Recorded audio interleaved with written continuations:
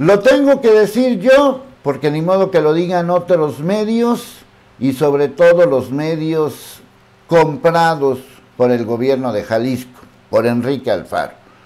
Y tengo que decirlo yo porque, insisto, nadie lo va a decir. Conste, lo advertí, lo señalé, de que Enrique Alfaro estaba haciendo actos de campaña violentando la veda electoral y eso es un delito. Y los delitos los hacen delincuentes electorales, pero no dejan de ser delincuentes. Como el INE estaba muy enfrascado con su pleito por las mañaneras, también lo dije. Esto es peor que las mañaneras, pero el INE en su rollo. Bueno, ya por fin la autoridad, en este caso no el INE, sino la autoridad de Jalisco, después de varios, varios videos y después de varios días, por fin se dio cuenta de lo que, pues por lo menos yo había señalado. Así que queda constancia que lo dije, que lo sostengo y que sigue vigente este asunto de Enrique Alfaro.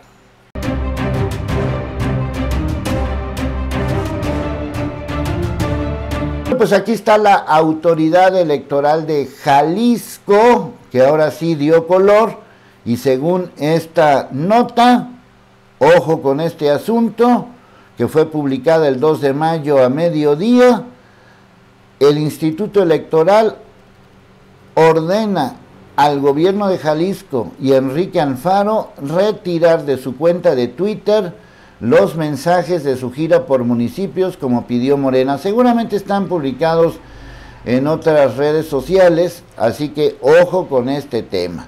Este tema yo lo abordé desde hace tiempo, aquí pueden ver el video que pues, se publicó el 15 de abril, donde justamente señalé que Enrique Alfaro está de gira haciendo numerito y medio y que el Instituto Electoral, el INE y las autoridades correspondientes no habían dicho ni hecho nada sobre este tema.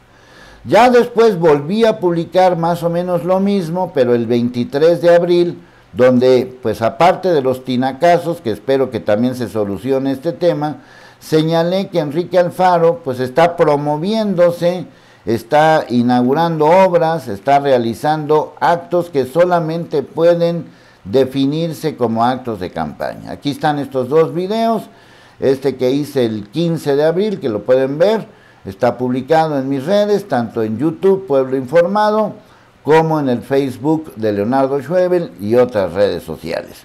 Y aquí está el 23 de abril. Bueno, pues ahí está la respuesta de la autoridad de que tiene que retirarlos.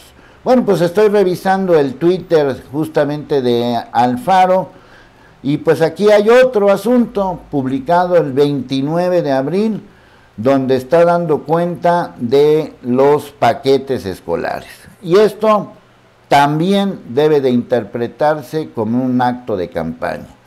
El tema de la vacunación, pues no, porque obviamente estamos en un tema de vacunación, pero sí el tema relacionado con esto.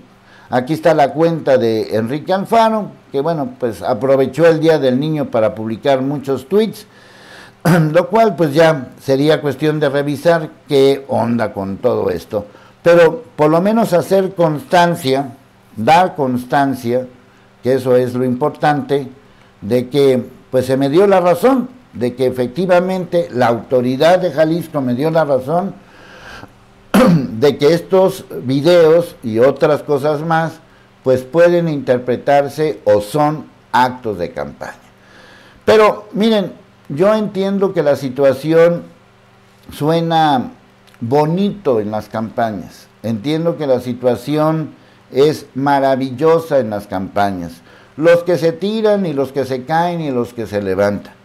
Pero la realidad, la realidad de Jalisco, no se las puedo mostrar por restricciones de las redes, pero hablando precisamente del Día del Niño, un grupo organizado con el nombre de Jalisco estuvo regalando juguetes y las autoridades ni sus luces.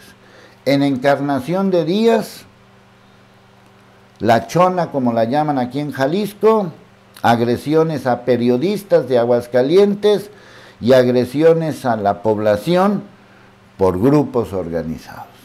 Y aquí en Guadalajara, mientras los candidatos estaban jugando a ser Disneylandia, pues hubo un acto de violencia contra un policía que participó en el, em, en el operativo que conocemos como Chapalita, que pues eh, sí dio resultado, pero pues las consecuencias ahí las estamos viviendo.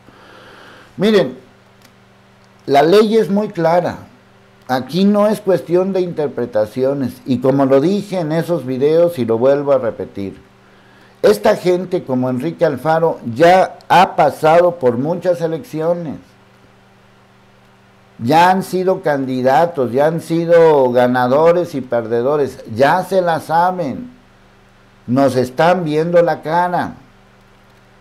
Y el INE, el Instituto Electoral de Jalisco, tienen que ser más enfáticos, más duros, porque ordenan quitar los twitters, no sé si también esto valga para Facebook, pero ordenan quitar esos videos ya cuando todo el mundo los vio, ya cuando el daño ya está hecho.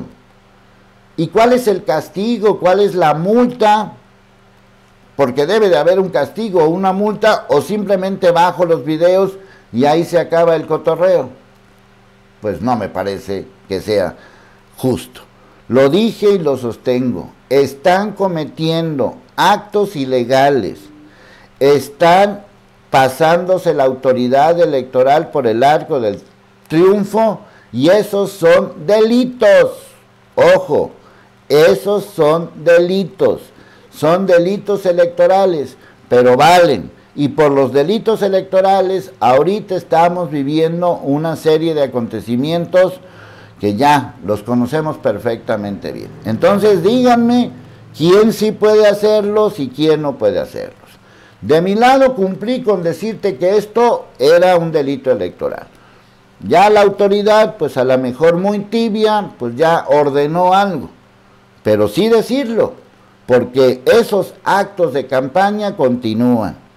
Todavía nos queda un mes más de campaña. Ahora sí viene el último mes de campaña.